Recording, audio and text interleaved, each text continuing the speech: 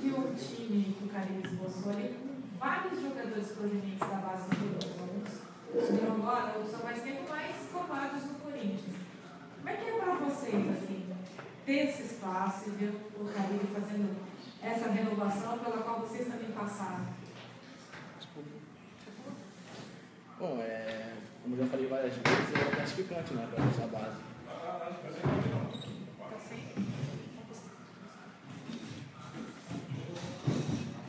Oi, oi. Vocês falaram errado. Ele estava rachado isso, né? Então, como eu falei, é muito gratificante para a gente trabalhar, né? A gente trabalhar, ver que a gente está evoluindo, ver os garotos chegando, então, para a gente é, é gratificante demais.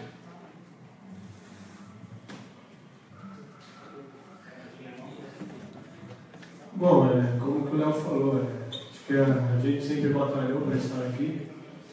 Eu acho que os frutos estão sendo colhidos é, e quem está entrando está dando conta do recado. Isso mostra que a base do Corinthians tem um grande valor.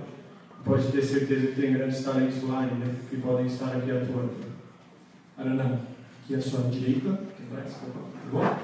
Aproveitar e começar com você, já está com o microfone mesmo. Você, em 2017, está sendo titular do time, tá jogando muito, dando muitas assistências, tem quase todo jogo, né? Quero te ouvir sobre o seu 2017, né? Afinal de contas, você já está no time profissional desde o título brasileiro lá em 2015, aí acabou dando espaço para o Wendel, né? aguardando a sua vez, sua vez chegou. Como é que está sendo 2017 para você? O Corinthians é o segundo melhor time do Campeonato Paulista, você jogando e jogando bem. Como é que está sendo para você agora? Bom, estou muito feliz com o meu desempenho dentro de campo. Acho que eu sempre trabalhei forte porque sabia que a oportunidade iria aparecer.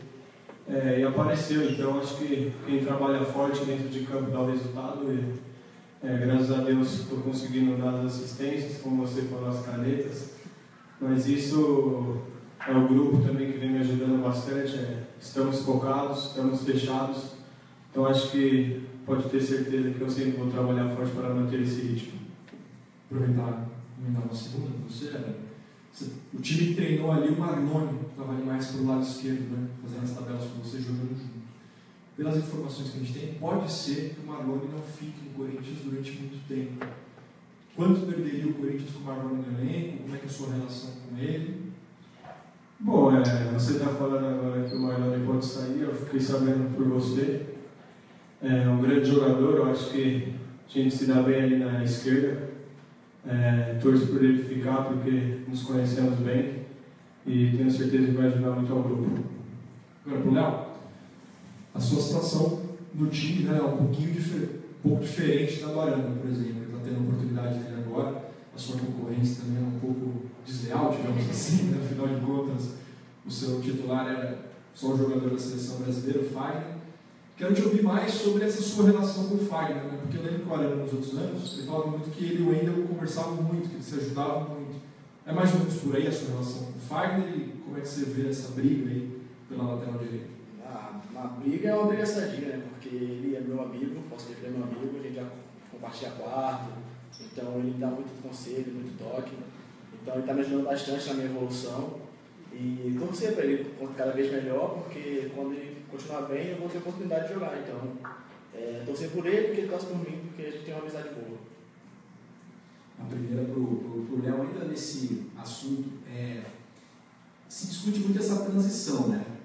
Tem a formação e aí tem que passar para o time profissional, jogar ou não, um time grande como o Corinthians. Até certo ponto é bom ter o Fagner como titular, já que você tem uma certa tranquilidade para aprender tudo que você ainda não aprendeu e até pegar mais experiência com os profissionais. Que o Fagner não fique jogando 20 anos aqui, obviamente, mas é bom ter esse, ter esse espelho nesse momento. Não, é o melhor espelho que eu posso ter né, futebol brasileiro, é o melhor lateral do futebol brasileiro. Então, para mim é bom. Eu sei que eu vou ter grandes oportunidades com a saída para a seleção e eu vou poder evoluir com tranquilidade. Mas é claro que todo jogador quer jogar, não quer jogar, mas eu sei que eu vou ter meu tempo a aprender para evoluir, para um dia chegar no nível dele, quem sabe. Arana, você viveu isso quando o Wendel, né, que jogava, imagino que deve ter até vivido um pouco com o Fábio Santos ainda, porque você já surgiu por aqui. É, mas quando você leu a negociação do Wendel, imagino ter uma festinha na sua casa. negociação, é, quando eu fiquei sabendo da negociação, fiquei muito feliz. Eu acho que a minha oportunidade chegou, então eu tenho que fazer o meu papel, acho que trabalhar forte, como eu vinha falando. É, com certeza, fiz uma festa em casa, só que mandei mensagem para o Wayne, eu falei obrigado para ele por tudo que ele já me deu muitos conselhos, falou que aprendeu muito comigo apesar de ser novo. É, mas com certeza a festa não deixou de ter. Já que a gente está falando de relacionamento entre vocês e os outros jogadores, como é que é quando chega alguém novinho que nem o Pedrinho, assim? Acabou de subir, já estreou, pode ser que jogue, tem só 18 anos.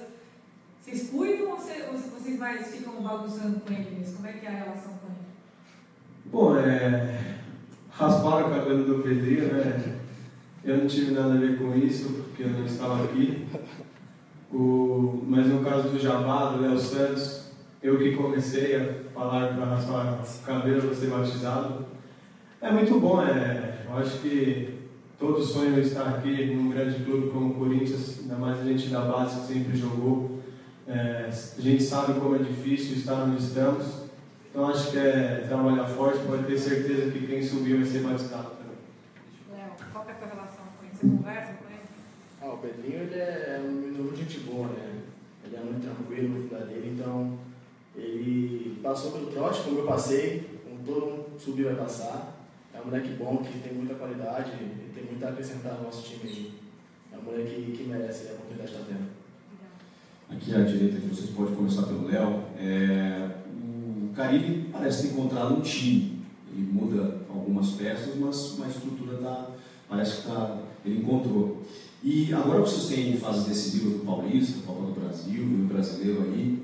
Dá para aproveitar, vocês especialmente, né, para provar para o Caribe que ele tem alternativas, que ele tem reposição para enfrentar uma sequência longa na temporada, começando por você? Né? Ah, claro, né? nós estamos aqui, né? nós temos por onde para chegar onde estamos. A gente vai ter oportunidade para jogar, né? no meu caso, ela já vem sendo titular e estão respondendo. Eu, quando entrar, eu vou tentar fazer o meu melhor e poder ajudar, fazer um grande ano aí a gente, né? o time está bem fechado, bem unido. A gente espera fazer um ano muito bom. Como é que você avalia né, o grupo do Corinthians? Porque nem sempre o Carilho vai ter os 11 e aí vai precisar recorrer ao banco. Vocês acham que, que tem condições de enfrentar as competições que vem pela frente com o grupo de hoje? Com certeza. É... O grupo está em formação ainda, só que você pode ver nos treinos, a gente está treinando forte, estamos focados. É... O trabalho do Caribe está sendo muito bom, então acho que quem entrar vai dar conta do Ricardo é, se, o, se eu ser poupado, o Moisés vai entrar, tenho certeza que vai fazer um grande jogo, porque está treinando forte, merece também as oportunidades. Mas eu tenho certeza que, como o Léo falou, é, batalhamos para estar onde estamos. Tenho certeza que quem entrar vai dar conta do recado no jogo. Valeu, gente. Obrigado. Professor. Falou!